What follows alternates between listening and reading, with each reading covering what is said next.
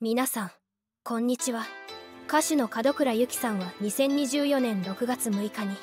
乳がんのため亡くなりました。彼女の人生は波乱万丈で多くの困難を乗り越えてきました。ここでは彼女の生涯失踪事件の真相そして現在の生活について詳しくご紹介します。門倉由紀さん。本名は村越光恵さん。1973年12月1日に福島県須賀川市で生まれました。幼少期から歌が大好きで3歳の時に初めて西田幸子さんの「アカシアの雨が止む時」を歌ったそうで彼女の実家は酒屋で酒屋の倉庫で両親からもらったカラオケセットを使ってよく歌っていたそうです。高校時代には甲子園常連の野球部のマネージャーとして活躍し甲子園出場も経験しています。門倉さんの音楽キャリアの始まりは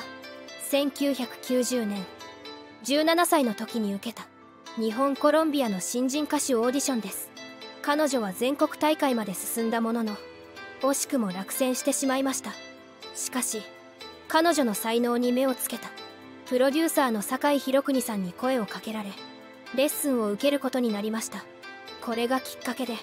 彼女の歌手としての道が開かれました。1994年にカモメ。カモメでデビューした後彼女のキャリアは順調に進みました。1996年には「女の漁家」が大ヒットし NHK 新人歌謡コンテストでグランプリを受賞。同年には第47回 NHK 紅白歌合戦にも初出場を果たしました。門倉さんはデビューからわずか2年で日本の音楽シーンにおいて重要な地位を確立しました。また1998年にリリースした「ノラ」は約80万枚の大ヒットを記録し現在でもカラオケランキングの上位をキープしています。彼女の音楽キャリアは華やかでしたがその背後には多くの苦難と挑戦がありました。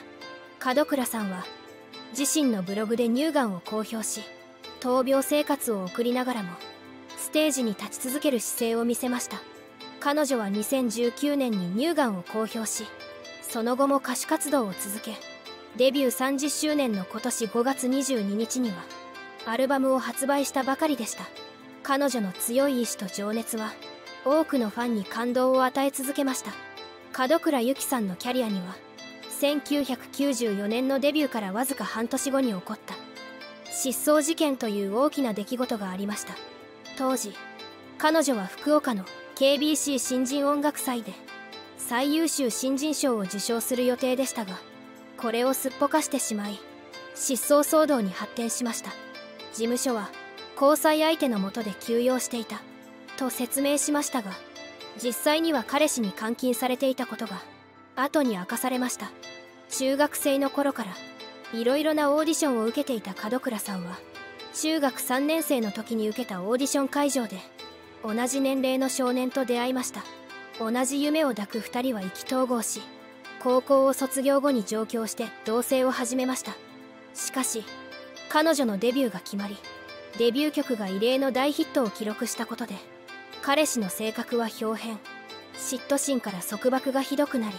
最終的には DV に発展しました。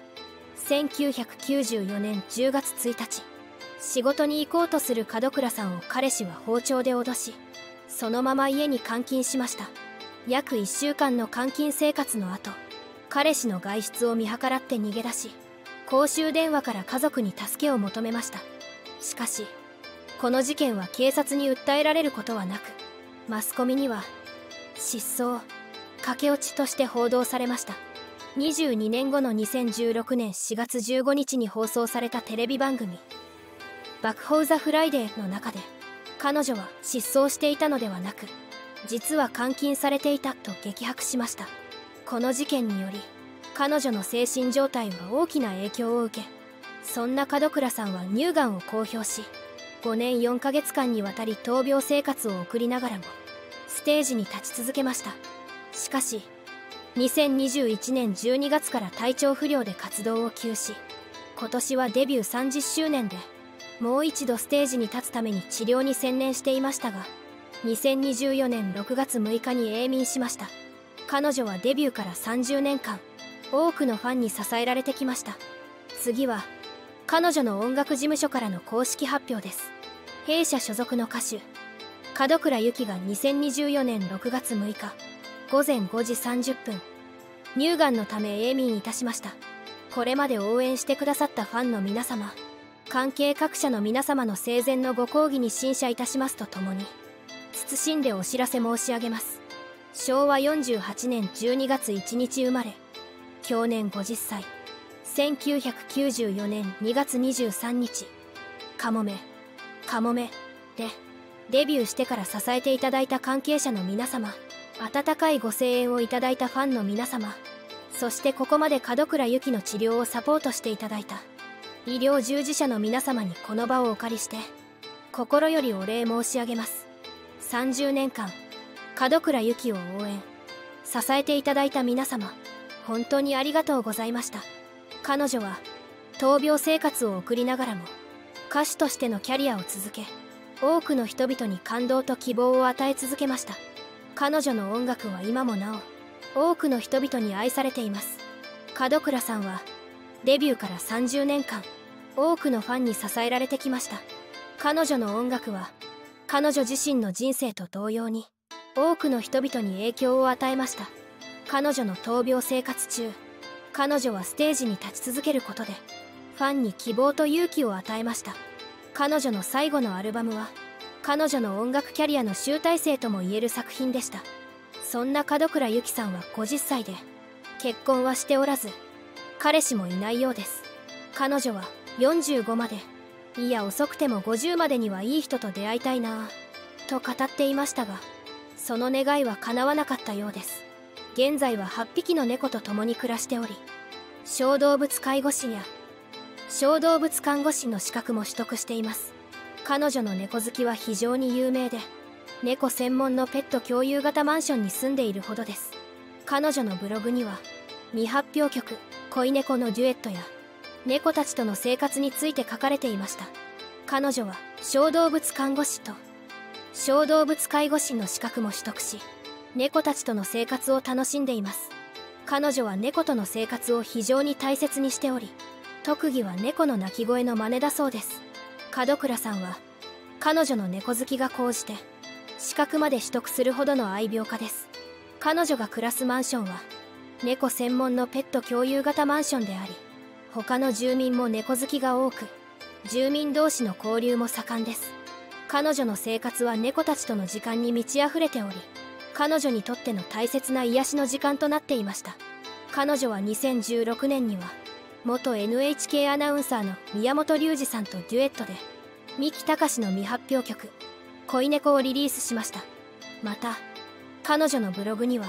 猫たちとの生活やデュエットについての情報が掲載されています。彼女は猫たちとの生活を非常に楽しんでおり猫との時間を大切にしています。彼女の生活は猫たちとの関わりによって豊かになっており彼女の癒しとなっています。そんな門倉さんの通夜が12日東京都大田区の臨海斎場で営まれました。五代夏子さん永山陽子さん西尾由紀さんら約300人が参列。喪主は夫の金田勝さんだったといいます。また4月に活動再開を発表したばかりの氷川きよしさんも弔問。門倉さんは氷川さんが歌手を目指す。きっかけとなった憧れの歌手だと言われており大切にしてきた門倉さんの写真集を手に訪れ最後の別れを告げると号泣していたといいます。そして氷川さんといえば本人が明確にカミングアウトしたわけではありませんが SNS や本人の投稿でも女性として見ていただきたいという投稿が多く芸疑惑が出ています。実際過去に恋人として計6名の名前が挙がっておりそのうち5名は男性ですが1名だけ一般女性が含まれています。性自認が女性と言われる氷川さんにとって恋人として女性の名前が挙がるとしたらその一般女性というのはもしかしたら門倉さんなのかもしれません。いかがだったでしょうか？彼女の音楽は彼女の人生と同様に多くの人々に影響を与え続けるでしょう。